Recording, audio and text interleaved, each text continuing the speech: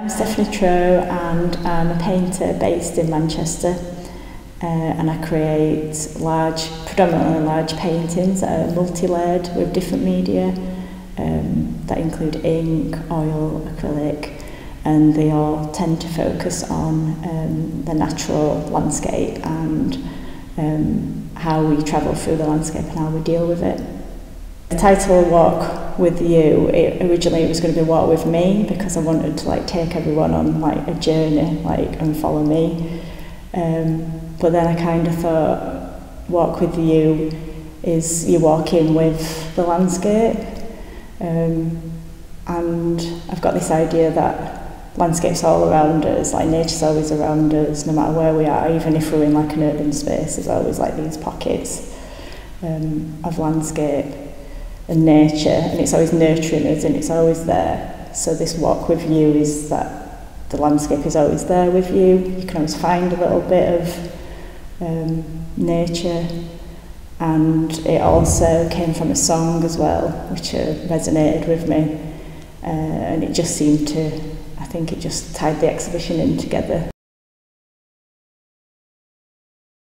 a couple of years ago I used to do paintings of large portraits and um, they were from magazines and they had their own like ideas um, but I always felt slightly detached from them so then uh, when I gave birth to my first child we did a lot of walking and that's um, where I think I got a lot of my inspiration then and I was doing a lot of sketches on my maternity leave and since then um, it's gradually like seeped into my work Um, and I think it's because there's inspiration everywhere to be found when you're walking in nature. And that felt more, um, I feel like my work needs to be, I need to be connected to it. I can't have that um, separation. And it also makes it easier to get ideas as well. So after both maternity leaves and then lockdown as well, that like perpetuated it as well. And it's just kind of sent me in that um, direction of like finding my inspiration in the landscape and also uh, how me and my family like navigate through it.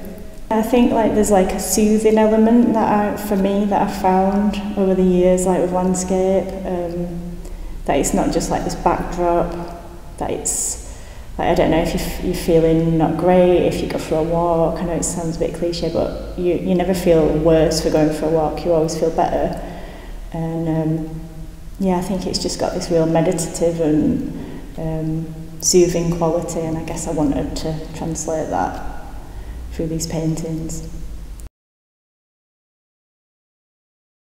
There's quite a lot of based in Warrington, and being a Manchester artist, it was like this journey that I was taking to Warrington and like discovering these places that I don't necessarily come across on my daily um, like routine or walk to the studio and that was quite nice because it was like I come in with open eyes so there's the Bridgewater Canal which I felt like was really important in this piece and that's like bridging Manchester to Warrington um, and I walked quite a lot of that um, the canal um, and then there's the Lynn Dam which was beautiful to walk around and um, yeah, there's quite a few that reference um, where Al where Lewis Carroll's birthplace, which I didn't know until I started this project, um, was born in Warrington area. So yeah, there's lots of little references um, to Warrington that I've, I've brought into the work and Then back at the studio, I've also then looked into the archives of Warrington, of them places that I've visited, just to like find a bit of history about it. And then I've found these like great images that I've like, I've been able to like bring into the paintings like that one, like the boatman, um, the crossing um, across uh, the river.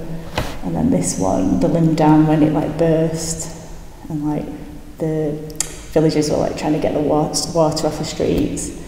So like that was really interesting afterwards as well, not just like travelling through the landscape, but then afterwards finding out about these areas that I visited. With this project, I picked like certain areas. So the first place I went to was uh, Knaresborough with the Lewis Carroll um, Centenary Woods, and went there. And I, I went there because I've just started in my work, bringing more of my imagination in. So when I read, like when I was researching where shall I go, what, what places shall I pick, and I saw that with Lewis Carroll and his imagination, how great that was. So I was like, right, I'll start there. So that felt, felt like a right starting point. But then when I got there, I was a bit like, right, I'll just walk it. So I walked all around, walked where his house was.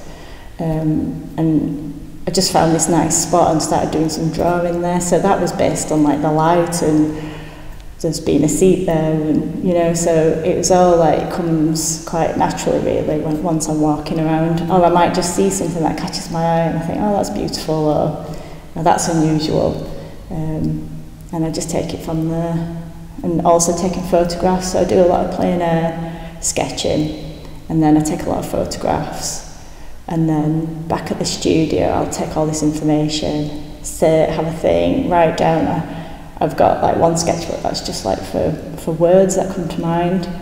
And then it kind of all just like leads me in the right direction and I'll just start painting and I don't start with like a this is what it's going to end up like, but I kind of have a rough idea and then I kind of let it unfold slightly from the observation drawings, from the photographs, and then let a bit of imagination seep in as well. That seems to be how I'm working at the minute.